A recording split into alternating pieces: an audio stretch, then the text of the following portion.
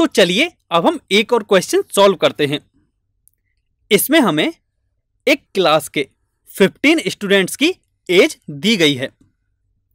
अब हमें गिवन है कि एक स्टूडेंट को रेंडमली सेलेक्ट किया जाता है, जिसके सेलेक्ट होने के चांसेज बाकी स्टूडेंट्स के इक्वल हैं एंड इसकी एज को एक्स से डिनोट किया जाता है।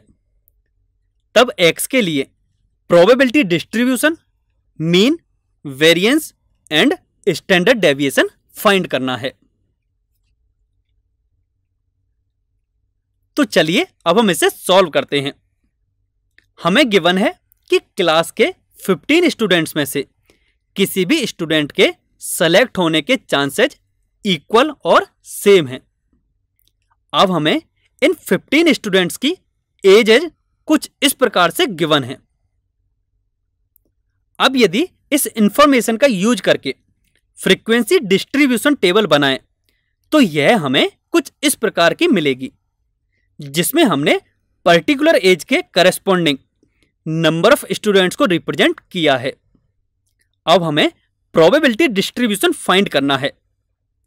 इसके लिए हम प्रत्येक एक्स की प्रोबेबिलिटी फाइंड करेंगे।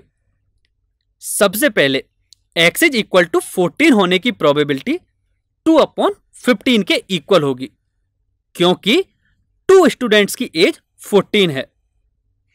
इसी प्रकार एक्स की बाकी सभी वैल्यूज़ की प्रोबेबिलिटी फाइंड करेंगे, तब हमें X is equal to fifteen होने की प्रोबेबिलिटी वन अपॉन फिफ्टीन के equal X is equal to sixteen होने की प्रोबेबिलिटी टू अपॉन फिफ्टीन के equal X is equal to seventeen होने की प्रोबेबिलिटी थ्री अपॉन फिफ्टीन के equal, X is equal to eighteen होने की probability one upon fifteen, X is equal to nineteen होने की probability two upon fifteen, X is equal to twenty होने की probability three upon fifteen, and X is equal to twenty one होने की probability one upon fifteen के equal मिलेगी।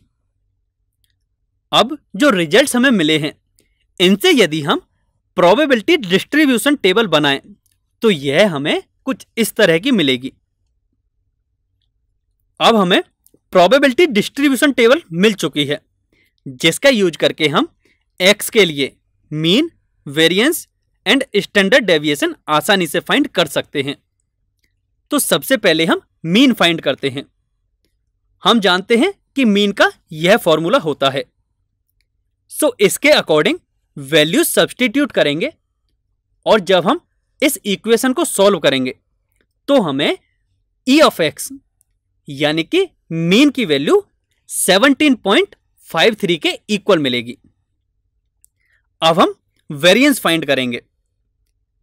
जिसको find करने का फॉर्मूला यह होता है। अब हम यहाँ देखें तो ई ऑफ़ एक्स की वैल्यू हम फाइंड कर चुके हैं। एंड वेरिएंस की वैल्यू फाइंड करने के लिए हमें ई ऑफ़ एक्स स्क्वायर की वैल्यू फाइंड करनी है, जिसकी वैल्यू हम इस फॉर्मूले से फाइंड कर सकते हैं। अब इस फॉर्मूले के अकॉर्डिंग जब हम इसमें सारी वैल्यू सब्सटीट्यूट करेंगे तो हमें यह इक्वेशन मिलेगी। एंड इसे हम आसानी से सॉल्व कर सकते हैं, और इसे जब हम सॉल्व करेंगे तो हमें ई ऑफ़ एक्स स्क्वायर की वैल्यू 312.2 के इक्वल मिलेगी। अब हमें E of X and E of X square की वैल्यू मिल चुकी है। इसका मतलब हम वेरिएंस ऑफ़ एक्स की वैल्यू निकाल सकते हैं। तो जब हम E of X and E of X square की वैल्यू फॉर्मूले में पुट करेंगे और उससे सॉल्व करेंगे तो हमें वेरिएंस ऑफ़ एक्स की वैल्यू 4.78 के इक्वल मिलेगी।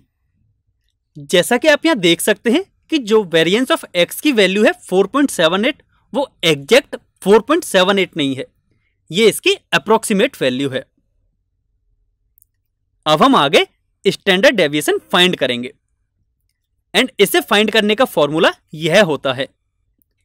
अब इसमें हम वेरिएंस की वैल्यू जब सब्सटीट्यूट करेंगे और इसे सॉल्व करेंगे तो हमें स्टैंडर्ड डेविएशन की अप्रोक्सीमेट वैल्यू 2.19 के इक्वल मिलेगी। आई होप आप सभी को mean variance and standard deviation find करना अच्छी तरह से समझ में आ गया होगा।